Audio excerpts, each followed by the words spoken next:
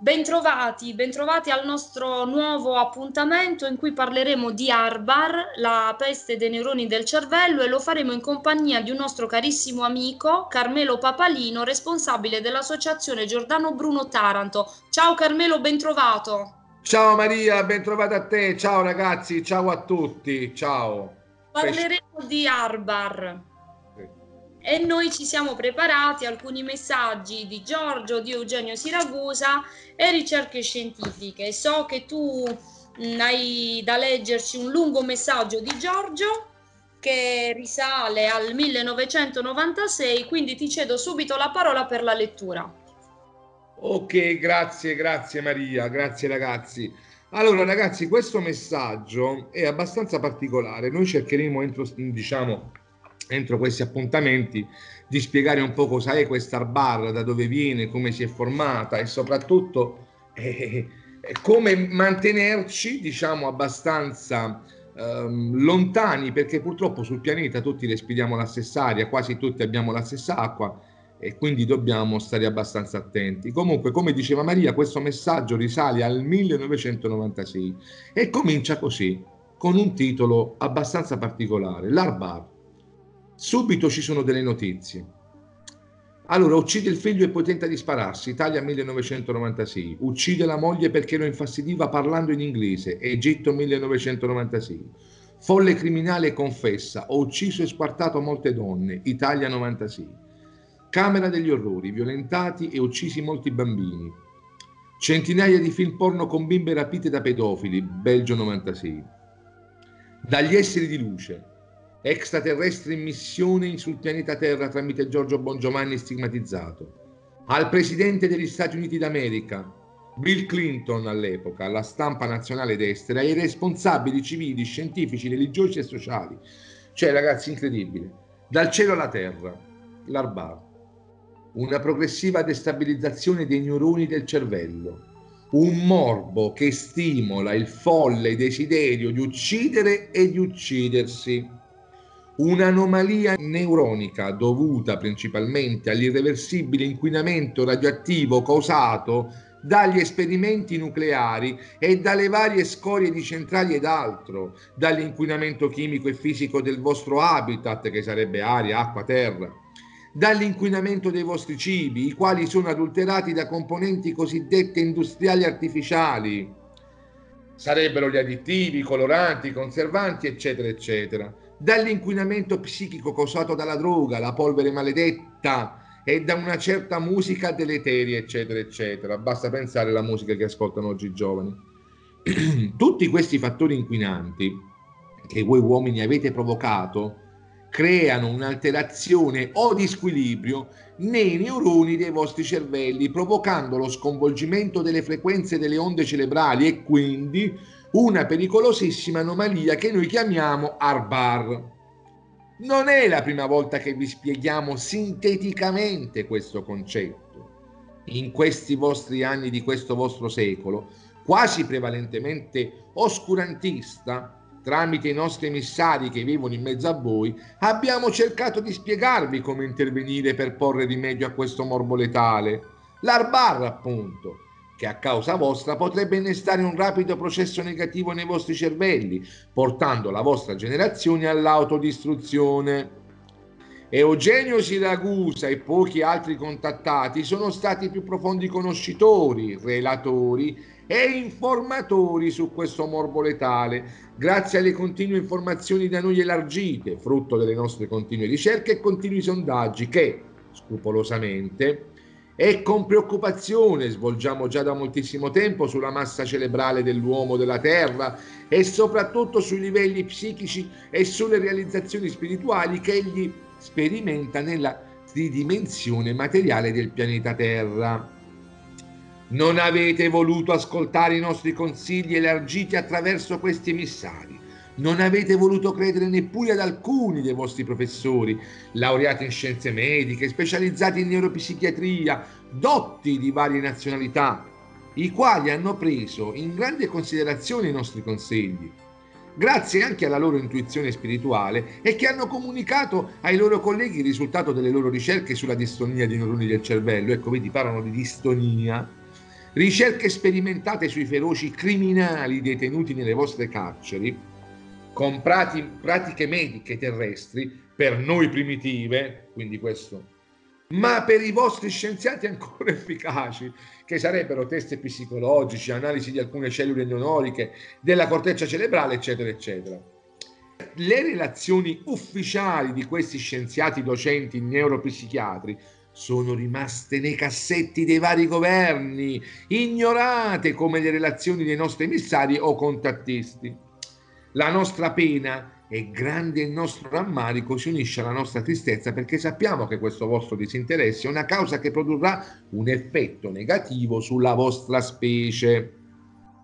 Un evento che potrebbe accadere, esempio, Immaginate un governo ribelle o un gruppo di terroristi o un gruppo di criminali legati a una delle cosiddette mafie internazionali che durante una crisi di destabilizzazione neuronica cerebrale, ossia l'ARBAR, organizzasse un attentato con lanciamissili, bazooka e con altri piccoli o medi ordini nucleari portatili. Immaginate le stragi, la morte, il sangue che imperseverebbero sulle vostre strade Cosa accadrebbe? L'inizio di un progressivo olocausto? Forse non c'è nemmeno bisogno di immaginarlo, cari amici terrestri. Questo processo è già iniziato e il pericolo che queste stragi apocalittiche si manifestano diventa sempre più evidente. La nostra vigilanza rimane attiva e non ci stancheremo mai di ripetervi che il nostro amore universale e le nostre entità astrali sono accanto a tutti coloro che, sul vostro pianeta hanno realizzato la superiore genetica prodigandosi a favore per la sopravvivenza del pianeta e della vostra specie.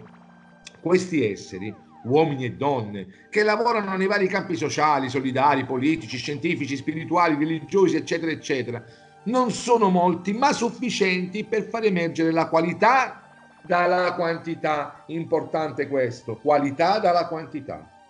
A costoro raccomandiamo la massima efficienza negli equilibri psichici cerebrali, armonia, pace, amore, tolleranza, amore per la natura, desiderio di giustizia, alimentazione ordinata, permanenza in luoghi poco inquinati, eccetera, eccetera.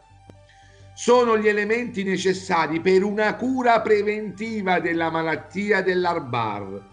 Sono sentimenti, attitudini che impediscono totalmente la manifestazione del morbo. Ecco ragazzi, impediscono totalmente la manifestazione del morbo perché ricordate, come ho detto prima, ce l'abbiamo tutti l'Arbar. Occhio! La forza spirituale della fede deve mantenersi salda e sicura, forza spirituale. Le promesse divine sono in fase di compimento e di questo ce ne stiamo accorgendo. Il nostro intervento diretto è prossimo Aspettiamo che la luce divina ci dia informazione direttiva a questo proposito. Questo giorno si approssima, abitanti della terra, e sarà il giorno della grande rivelazione, la più grande di tutta la vostra storia, quella che provocherà il grande cambiamento e il grande giudizio perché ci sarà la rivelazione di colui che pochi in questo secolo aspettano. Ci auguriamo, come più volte vi abbiamo detto, che questo evento programmato dalla superiore intelligenza si manifesti in un momento di pace e di armonia nella vostra civiltà. Purtroppo i segni negativi che voi proponete e che attivate ci indicano chiaramente che il grande evento avverrà in un momento di grande caos, di catastrofi, di morte, di distruzione della vostra specie. La scelta è vostra noi non possiamo imporre. A presto. Pace. Dal cielo alla terra, Porto Santo Elpidio, udite udite, 25 agosto 1996, ore 12, Giorgio Bongiovanni. Innanzitutto parto dall'inizio, una progressiva destabilizzazione dei neuroni del cervello e poi successivamente ad un certo punto dice non avete voluto ascoltare i nostri consigli a, a, elargiti attraverso questi emissari non avete voluto credere nemmeno ad alcuni dei vostri professori specializzati in neuropsichiatria. Nel 2013 un noto neuropsichiatra tedesco, Gerhard Roth, dopo vari studi e approfondimenti, scoprì che esiste una zona del cervello in cui si annida il male. Lui lo definì un vero e proprio buco nero nel cervello e eh, si trova nella parte frontale inferiore dello stesso, quindi ad altezza della ghiandola pineale del terzo occhio. Chiediamoci perché. È ovvio per chi ha un minimo di conoscenze spirituali, esoteriche, sa bene che addormentare la ghiandola pineale interrompere un flusso energetico e quindi il risveglio del soggetto stesso. Queste analisi furono, eh, queste ricerche, eh, furono eseguite su una mol- un molteplice numero di detenuti all'interno delle carceri tedesche. Che cosa venne fuori?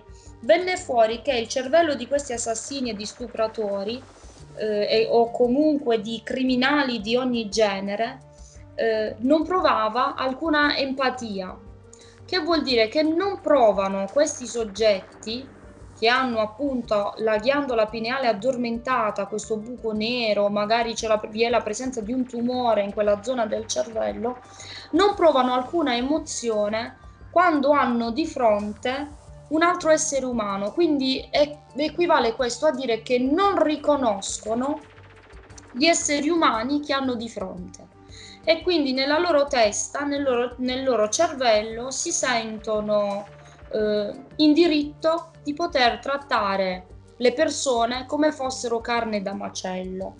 Accade che nel loro cervello non si sviluppa alcun tipo di compassione o sentimento di pena.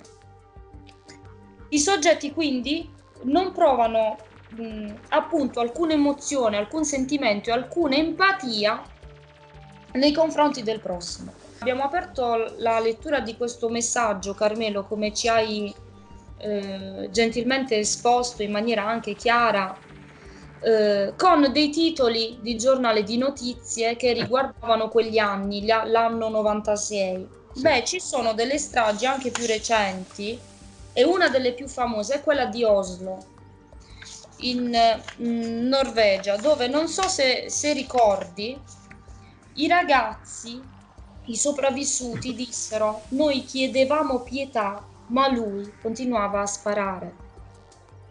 È un po' come quello che è successo anche nelle scuole in America, quando questi pazzi entravano dentro e i ragazzi dicevano fermo, fermo, ma quello continuava a sparare. Esatto, questo proprio perché appunto, secondo le ricerche del dottor Roth prima, eh, secondo gli studi condotti su 119 studenti dell'Università di Princeton, eh, questi studenti che avevano un'età media di 20 anni, eh, questi sono studi condotti nel 2011, quindi non troppo antichi, attraverso la risonanza magnetica sugli studi condotti eh, sulle, sui cervelli di questi ragazzi, si vedevano che mh, molti di loro non provavano orgoglio, non provavano invidia, ma non provavano nemmeno compassione, avevano un rifiuto nel vedere un uomo, una donna che chiedevano l'elemosina, quindi praticamente è proprio come se il cervello di questi soggetti, non, non entrando in empatia con chi hanno di fronte, non riconoscono il problema, non riconoscono l'essere umano, non riconoscono la vita praticamente poiché se poi accadono mattanze di questo genere eh, è ovvio che non provano nulla. Parla nel messaggio di inquinamento dei cibi e sappiamo bene c'è stato in passato un messaggio che eh, Eugenio Siragusa ha ricevuto gli estrogeni somministrati, eh, iniettati nelle fragole eh, per pompare la frutta, per non farla eh, morire o comunque rovinare al gelo. Mm. Quindi i cibi che ormai sono completamente alterati, sappiamo bene, OGM, c'è un po' di tutto in giro. E quindi, da questo capiamo che l'alimentazione è importante. Perché è importante? Non è solo una questione fisica, perché ovviamente se si, se si parlasse semplicemente degli effetti legati al corpo fisico, allora forse tutto sarebbe più facile. Il problema è che l'ARBAR non va a togliere solo al corpo fisico, quindi che ne so, ho il diabete, no? Perché mangio tanti dolci e comincia a mangiarmi la retina, comincia a mangiarmi i muscoli e poi mi devono amputare un arto e piano piano il, dia- il diabete ti divora l'organismo. Il problema è che quel picco glicemico, prendo in esempio il diabete, ma ci possono essere tante altre malattie legate all'alimentazione, quel picco glicemico andrà ad intaccare le sinapsi, i neuroni del cervello. Che cosa avrà come conseguenza? Che un soggetto aggressivo svilupperà ancora di più l'aggressività perché non arriva il sangue non pomperà come deve al cervello, quindi è come se proprio saltassero, no? come se ci fosse un, un'esplosione di corrente all'interno del cervello del soggetto malato affetto da quella malattia e quindi non ragionasse più, per cui un soggetto violento diventerà ancora più violento. È importante comprendere questo.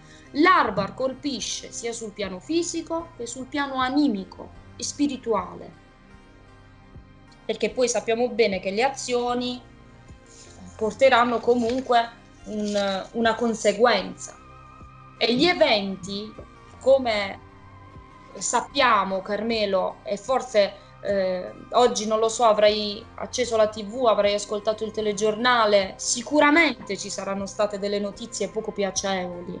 Certo, eh. ma se ti posso dire qualche piccolo titolo, guarda, è una cosa normale ormai trovare eh, titoli di tragedie e quant'altro di cronaca nera, se vuoi.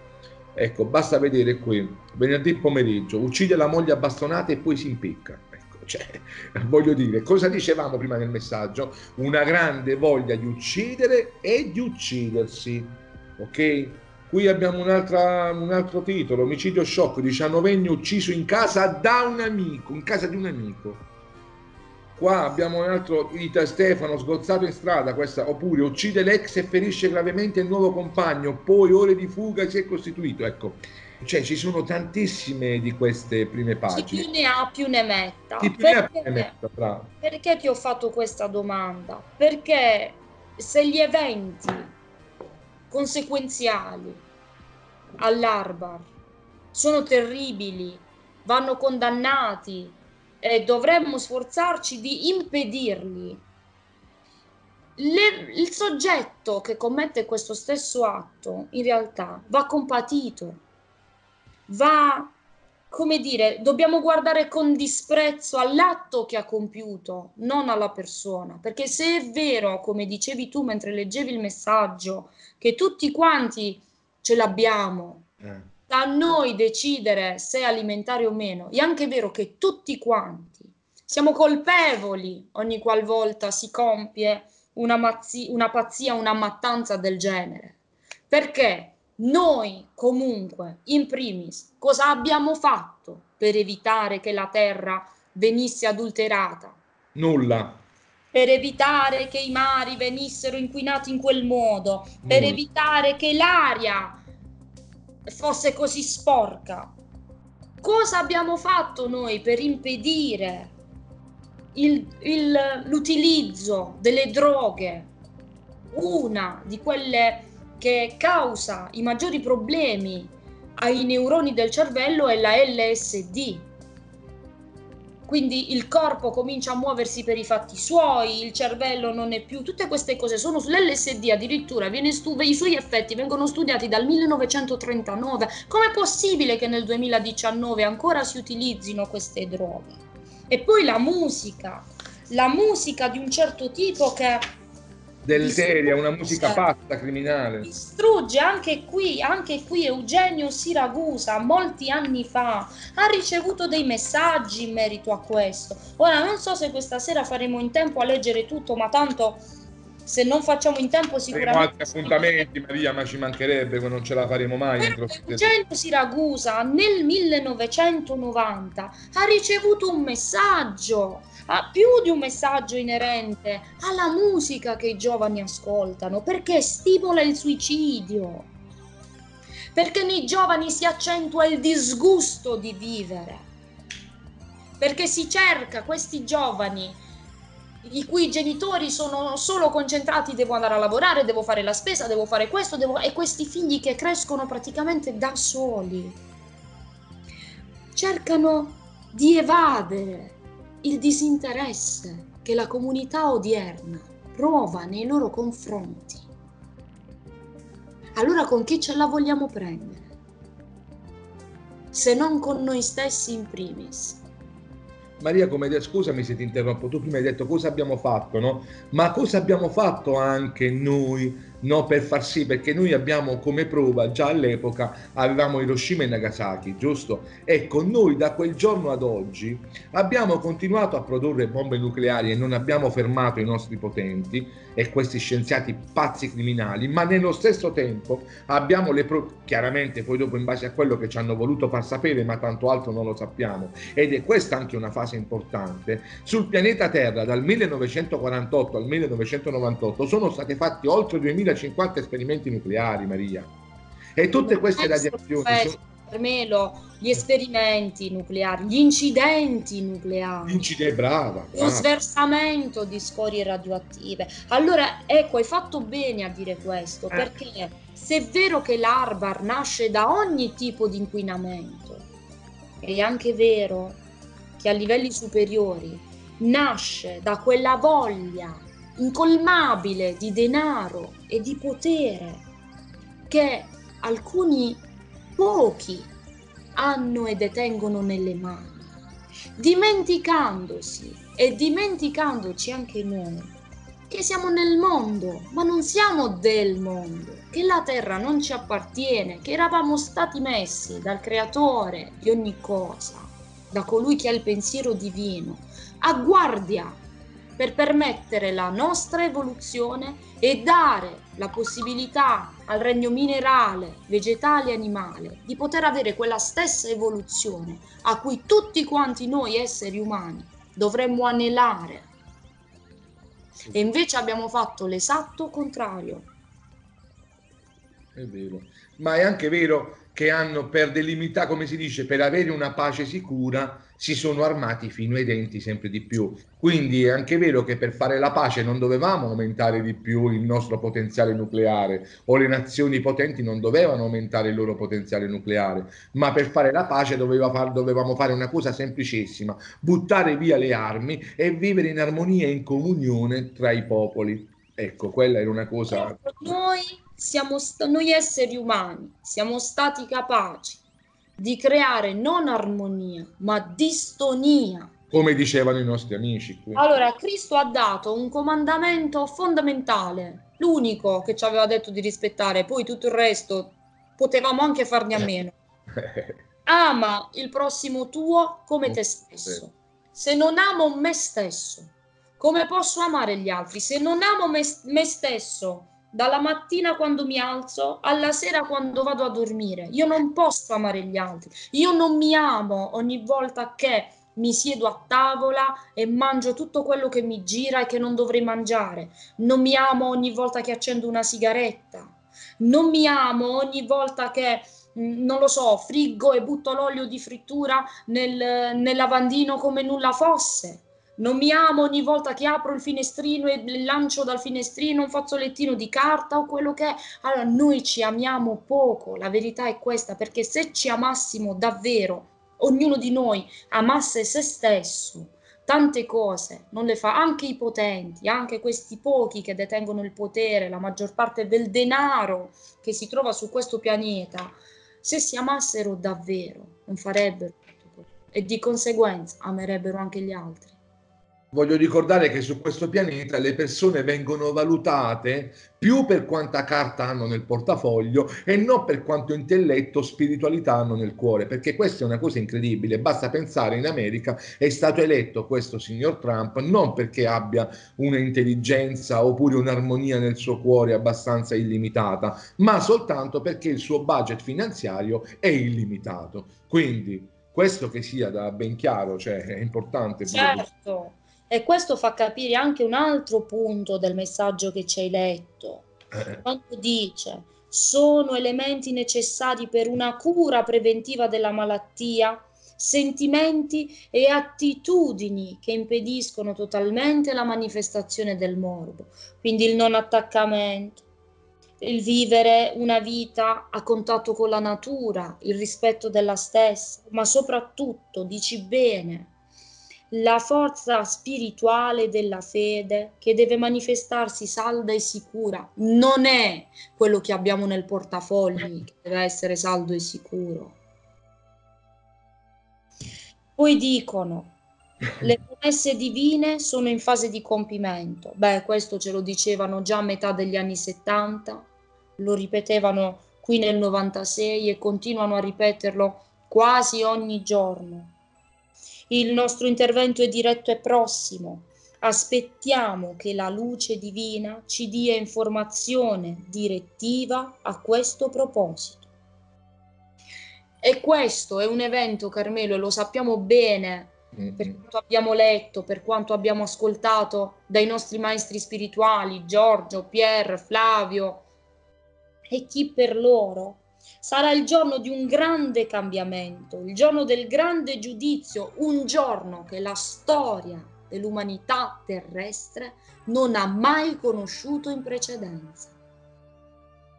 Voglio dire una cosa soltanto, perché qua dice, loro dicono, ci auguriamo, come più volte vi abbiamo detto, che questo evento programmato dalla superiore intelligenza, ecco, voglio puntualizzare questo, voglio dare questa piccola informazione. I nostri fratelli delle stelle chiamano Gesù Cristo intelligenza cosmica, intelligenza superiore. Quindi, quando loro dicono superiore intelligenza, si definiscono a, diciamo, a questo Cristo, che si manifesti... Ecco, sì, vai, vai. Scusami, scusami. No, no, vai avanti, vai avanti. È da questo che volevo dire, che loro chiamano Gesù Cristo superiore intelligenza o intelligenza cosmica, ecco, lo definiscono così.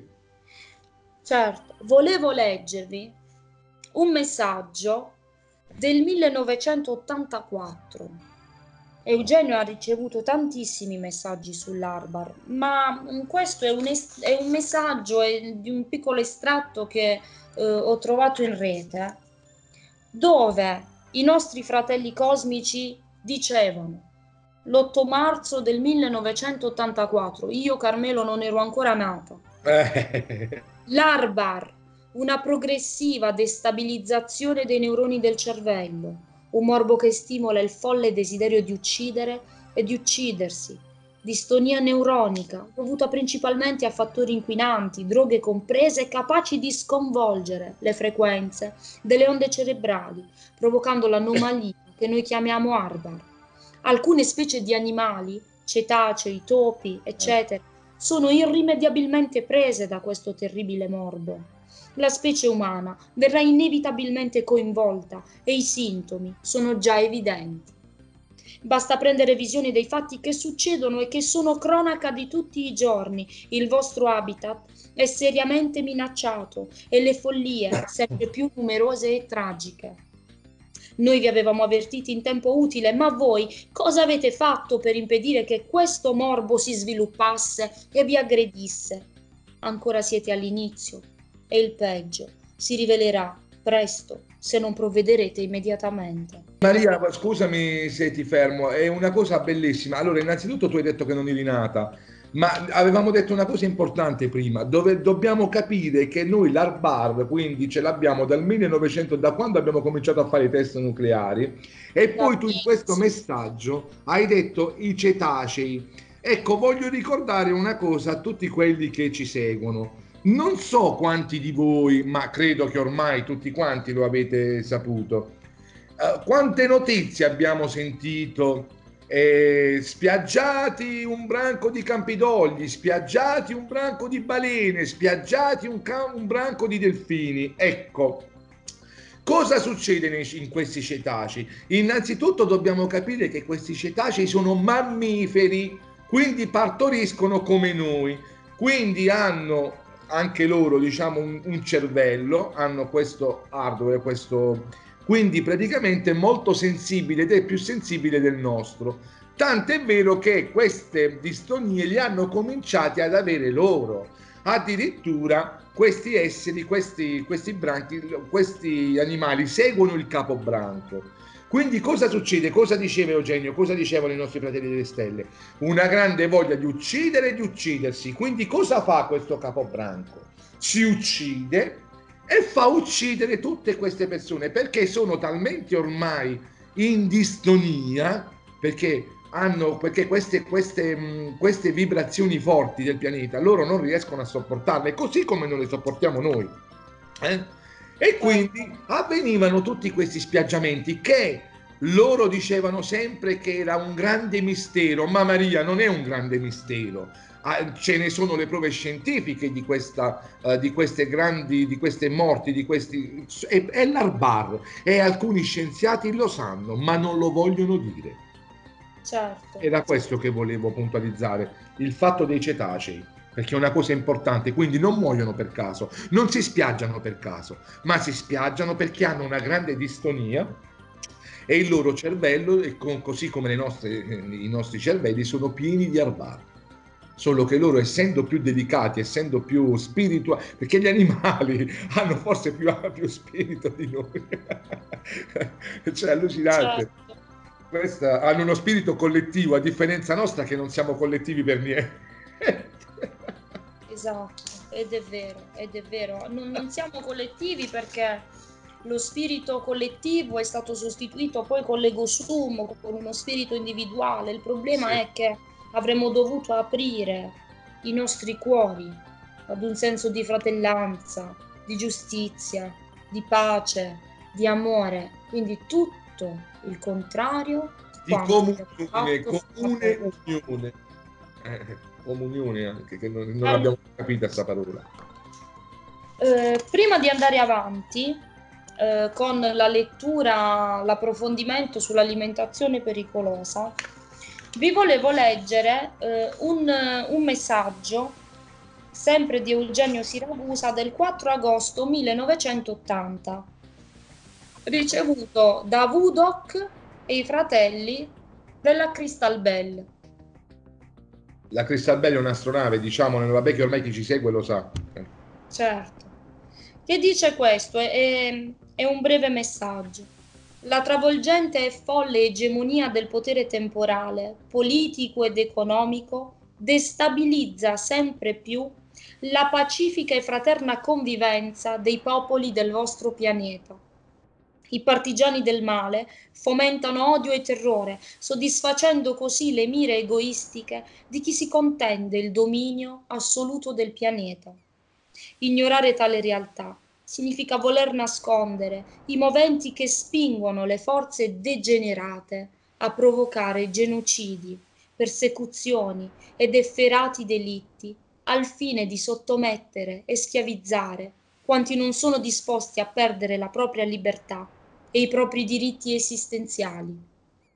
Più volte vi abbiamo significato la realtà del tempo e dei malanni che portava in grembo. Più volte vi abbiamo concesso un panorama sintetico di quanto era gravitante e delle cure immediate per impedire la crescente follia che noi abbiamo diagnosticato con il nome di Arbar, inquinamento dei cervelli. Siete rimasti scettici e insensibili. Di chi la colpa? Budok e i fratelli della Crystal Bell 4 agosto 1980, ore 11, Eugenio Siragusa. Io Carmelo, penso che ci sia poco da, da aggiungere, davvero ormai sono più di 30 anni che i nostri fratelli ci avvisano e, eh, e l'umanità continua ad sorda. Questo messaggio ha quasi 40 anni, bella mia, mamma mia, è, è stupefacente quindi. Allora, Carmelo, vuoi leggerci eh, l'approfondimento sull'alimentazione. Certo, certo. Allora, questo approfondimento è stato preso dal libro, Stella, dal libro Non Utopia, che praticamente sono questi mh, libri che, come abbiamo spiegato più volte, sono i libri che anche nelle conferenze di Pier Giorgio Caria, più volte ormai pubblicizzato e più volte detto, sono libri di natura non umana è questo messaggio che il, non è un'utopia, cioè ragazzi un'utopia quindi praticamente non è uno scherzo. E adesso lo leggiamo. Da premettere che questi sono libri che sono stati scritti tra gli anni 60 e 70 quindi cercate di capire la data e vedete come risuonano queste parole anche ai giorni d'oggi. Il testo non è un'utopia è il sesto grande messaggio che arrivò nel 1965 dallo spazio all'umanità della Terra, in modo tale che chi ha anche i PDF che Pierre consegna gratuitamente eh, sa insomma oltre al titolo di quale messaggio stiamo parlando e ci troviamo a pagina 61. Per chiunque ne vuole fare richiesta, la, l'email per la richiesta è info chiocciolaliberO.it. Poi chiunque ci vuole scrivere um, potete mandarci un'email a Giordano Bruno Taranto chiocciolaliberO.it. Andiamo avanti. Abbiamo osservato che su questa bellissima terra si producono moltissime malattie, in un numero crescente. La maggior parte dell'umanità è malata una simile evoluzione non l'abbiamo mai vista altrove. Il vostro è un pianeta di malattie, ma questo stato malsano non ha nulla a che fare con la purificazione, poiché non è affatto volontà di Dio che l'uomo venga purificato in questa orribile maniera. Si intende che l'avversario del Signore ha un grande influsso perché gli si permette di penetrare ovunque e viene persino incoraggiato a stabilirvisi bene. Ma non è solo questa la causa delle disgrazie della terra. L'umanità stessa è colpevole della disgrazia di tante malattie. Questo fatto risale già millenni fa. In una grandissima misura l'uomo terrestre porta oggi in sé l'eredità dei mali dei suoi avi. Già dalla nascita egli è un uomo malato. Voi stessi siete i vostri antenati reincarnati, quali anime, quindi è la vostra colpa che ora viene alla superficie. Una delle cause fondamentali sta nella stessa nutrizione errata. I nostri avi, i santini dei tempi di Mosè, hanno riconosciuto in un tempo la pericolosa evoluzione nella vostra nutri- nutrizione. Nella nave spaziale i santini hanno ampiamente istituito Mosè che con un grande pericolo sovrasta, che un grande pericolo sovrasta l'umanità. Mosè ne ha informato il suo popolo, specialmente i sacerdoti che erano anche i medici di allora la nutrizione fu quindi stabilita in ogni particolare, certi cibi furono proibiti. Alla testa dei cibi pericolosi sta la carne di maiale. Ragazzi, ascoltate bene. Allora non c'era ancora l'esame della trichina. La teina portava malattie pericolosissime. Non si tratta solo della trichina, ma della carne di maiale in generale. Il maiale è un animale impuro è per così dire malato nel ricambio e sovraingrassato e allevato come fornitore di grasso. La vostra medicina non è ancora riuscita a provare come è pericolosa la carne di maiale nella nutrizione umana. Giornalmente si uccidono milioni di suini e la carne di cui si nutre tutta quasi la popolazione. Questo tipo di nutrizione cambia le funzioni vitali del corpo umano Ogni uomo che mangia la carne di maiale diventa poco a poco incline a tutte le malattie. Avete visto? I maiali del ricambio, i mali del ricambio, della circolazione del sangue, degli organi interni, la formazione di calcoli, l'indurimento di vasi sanguigni e molti altri cambiamenti del corpo umano devono essere addebitati all'uso della carne di maiale. Io so che si andrà contro queste mie asserzioni, ma non c'è affatto da stupirsene, poiché gli uomini che hanno sempre da ridire vanno tutto contro quello che a loro non fa comodo. Per amore della mia missione non devo avere riguardo. L'umanità deve soffrire in modo inimmaginabile per questa nutrizione sbagliata, ma la maggior parte lo fa solo poiché ignora la causa. Il maiale si tira su facilmente, porta un grande guadagno e questa è per sé e per voi la cosa essenziale. Se non si muore subito, si può lentamente languire fino a morirne. Un male si riconosce tale se si muore immediatamente. Tutti i mali recessivi che durano per secoli non vengono neanche notati. I nostri avi, i santini, vi hanno sufficientemente ed insistentemente messo in guardia, purtroppo senza successo. Solo una parte degli ebrei si è tenuta alle proibizioni e questi vivono più a lungo ed hanno meno malattie. I maomettani hanno orrore della carne del maiale, è proibita dalla loro religione.